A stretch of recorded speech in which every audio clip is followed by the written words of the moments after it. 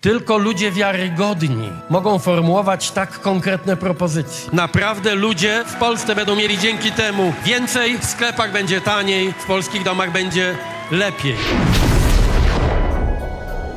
moratorium na wzrost podatków, najważniejszych podatków, PIT-u, CIT-u i VAT-u na 3 lata. Ja mam bardzo konkretne rozwiązanie, które mogłoby dzisiaj spowodować, że benzyna jest naprawdę po 5 zł.